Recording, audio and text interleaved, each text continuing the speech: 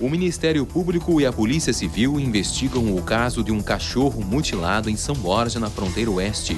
O animal de rua, conhecido pelo nome de Bolachinha, entrou no pátio de uma casa, o que teria desagradado um morador que castrou o cachorro. Encontrado sangrando, foi levado para o socorro, mas acabou sendo sacrificado por causa da gravidade dos ferimentos. O fato, tornado público pelas redes sociais, teve grande repercussão em São Borja e causou comoção social. Cerca de 700 pessoas, algumas com seus cãezinhos de estimação, participaram neste domingo de uma manifestação em defesa dos direitos dos animais e denunciando a morte cruel do cachorro Bolachinha.